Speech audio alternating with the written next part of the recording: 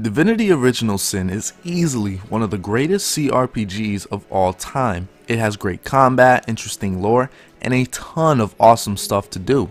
Since it has won countless awards from a bunch of gaming sites, I decided to take a look into Larian's humble beginnings. In the ancient times of 202 AD, developer Larian Studios completed only their second game ever called Divine Divinity.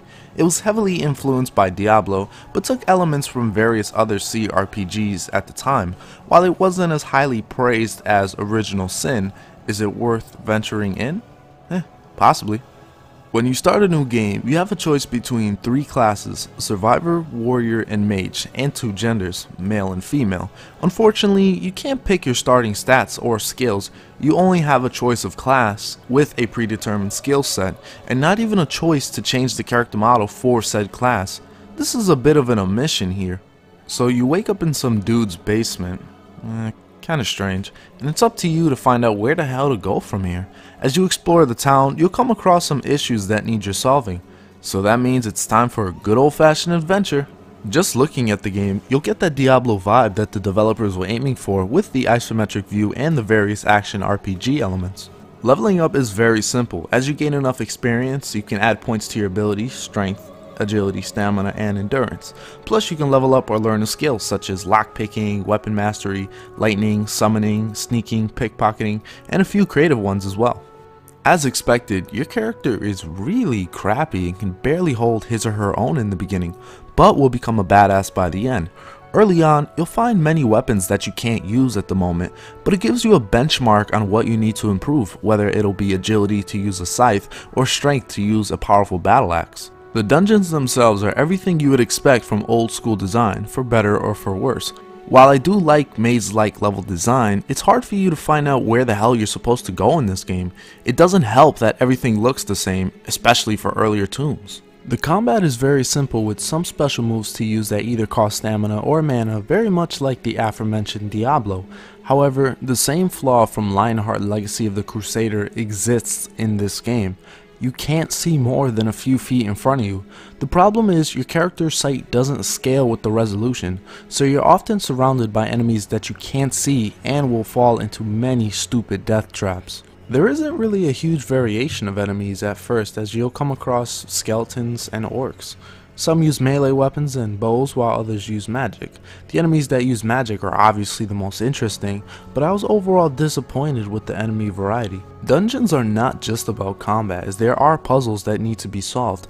The environment is highly interactive which allows for puzzles to be solved in a variety of ways. Sometimes having an object on a switch will activate a door, while other times it'll require you to flick a few switches or to search for all the all important key to move on or just place something on the ground to freaking go and progress.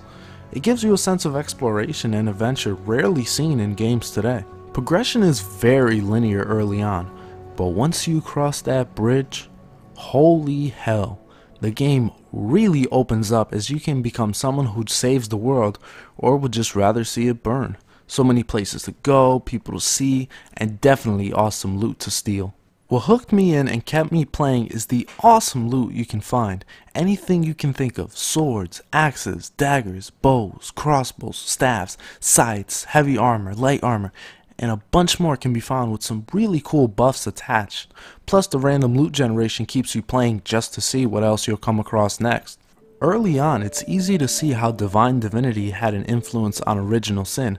Certain characters like Counselor Jake, Esmeralda, Arhu, and a few others all originated from this title. The lore and mythos is well done, but what kept me interested in the world was the humor. Larian has always done a good job in mixing up both light and dark moments in one cohesive package. Some events are legit laugh out loud moments, and it's good to see Larian having fun with the project. While combat is a huge part of the game, the dialogue aspect also plays a major role as well. The people are great to talk to, and given the ability to trade with pretty much everyone is a great way to find some much needed potions and rare skills. There are some shifty folks out there though, so watch out who you want to do business with, or you'll end up with the guards chopping your head off. The voice acting is also highly comedic. I honestly can't tell if it was done accidentally or intentionally, but it's so bad it's hilarious. Great stuff. The sound effects are standard, but what really blew me away was the music. Holy hell. Larian is seriously underrated when it comes to conducting their music score. This is one of the greatest video game soundtracks of all time. I'm dead freaking serious. Overall, Divine Divinity is a great title. The graphics are similar to Diablo, so take it for what it is. The gameplay is also very much like Diablo, but it adds enough unique twists to make the game feel unique in its own right. The world of Divinity is great, and after playing this, I'm even more excited now for the upcoming Divinity Original Sin 2. The beginning is a bit rough in this game, a common theme with all Divinity games honestly, but it opens up vastly as you play along. Another common theme. If you're a fan of the Divinity series, I would highly recommend this title. If you're not, then I'll just give you a plain old recommendation.